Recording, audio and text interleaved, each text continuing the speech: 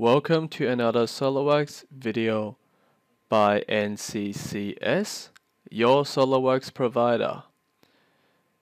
In this week's video, I'd like to discuss about saving our 3D models in PDFs for other parties to view. Of course, there are other free softwares that comes to SOLIDWORKS like DraftSight and eDrawings.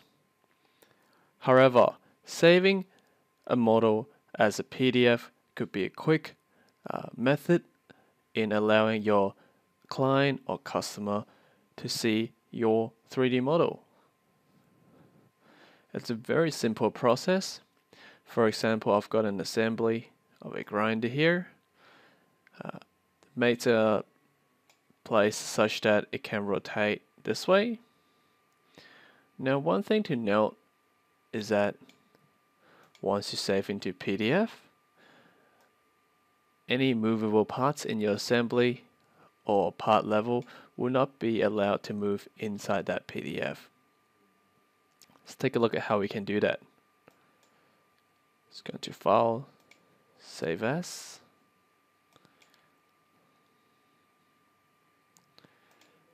Scroll through to PDF. And have it saved as a 3D PDF.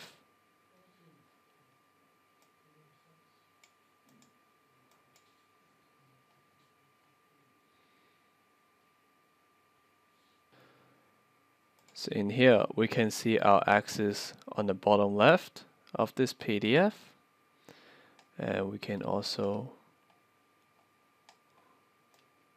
rotate our model. Note that I am unable to rotate uh, the grinder in any way.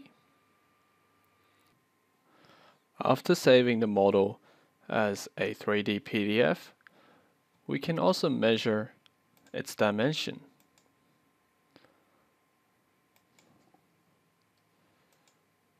For example, selecting this edge and this edge giving your client a better understanding of the dimension of your 3D model.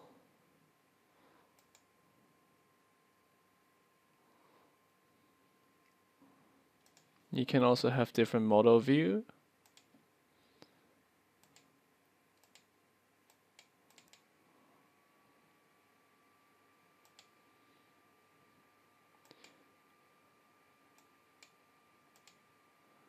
as well as changing it to be transparent, a solid wireframe and a range of other display options.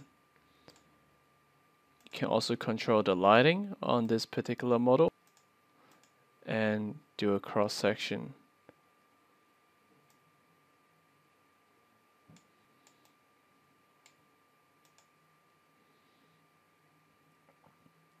Thank you for watching another SOLIDWORKS video by NCCS, your SOLIDWORKS provider.